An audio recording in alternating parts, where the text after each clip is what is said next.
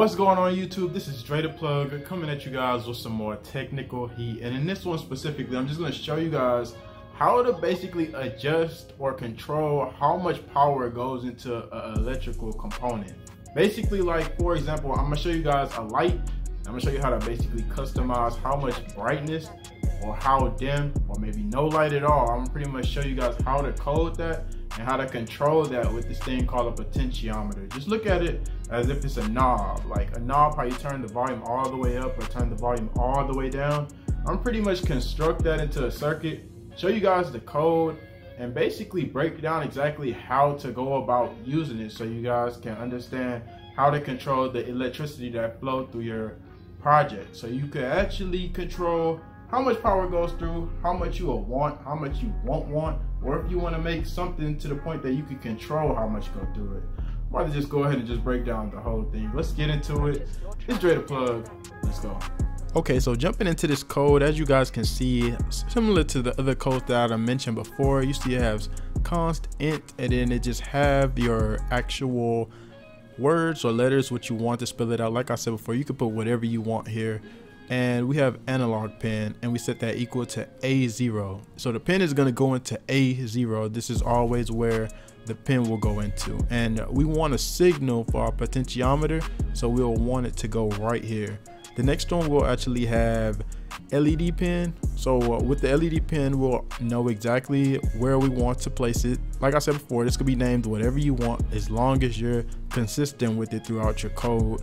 And so it'll go into the nine pin. Like you can literally change this to whatever number you want. Zero all the way up to however high you want to or however low you want to. You can pick whatever number you want. In the code right now, I just so happen to have it to be nine. So then after that, I have the input value zero, output value zero. Um, void setup is nothing that I need to set up just to have my potentiometer work. So there's no point of putting anything here. And then inside of my void loop, you guys can see the input value. This is specifically just if I want to read it through this actual monitor. It's a way that you can read it, but it's not necessary. And then I have my output value. I'm actually converting it to uh, between 0 and 255 which is also not necessary it's just for myself if I wanted to actually go in and see the number differences. But literally, if I wanted to, I could just erase it. And the main one that matters is just this one. Literally verify it. And as you can see at the bottom here, it's still in black and white. So everything is Gucci, everything is good. I'm gonna just undo it. And then going into analog write, which is actually gonna make that pin run and make it work. And you see how you have LED pin again, right? It's still consistent with the nine pin so it correlates.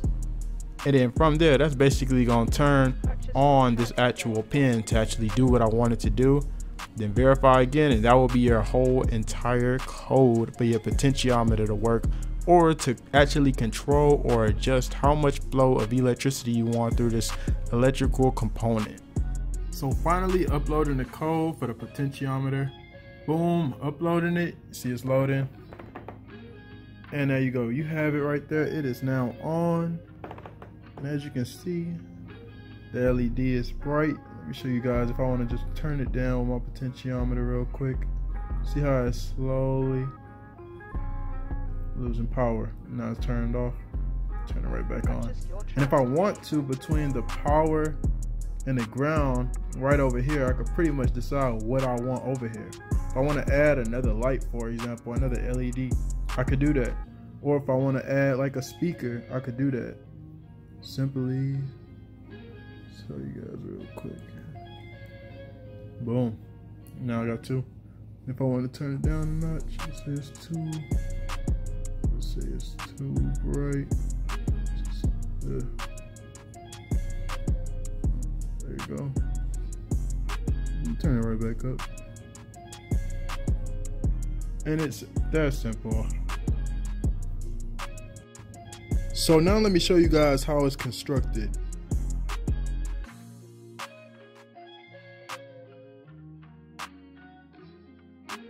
Purchase your tracks today.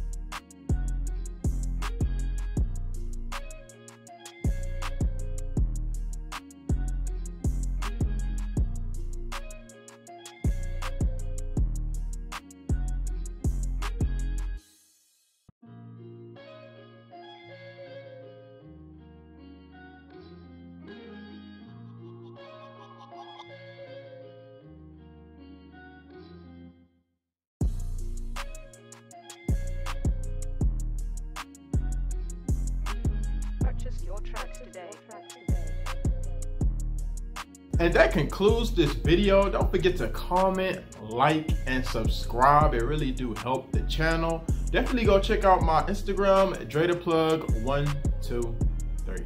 And then go also check out my other YouTube channel. I'll have a link down below. This was the channel I started a little while ago.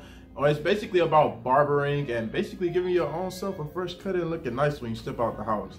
So definitely check out that channel. I do all types of different haircuts and be looking forward for the next video that drop. And I'm out.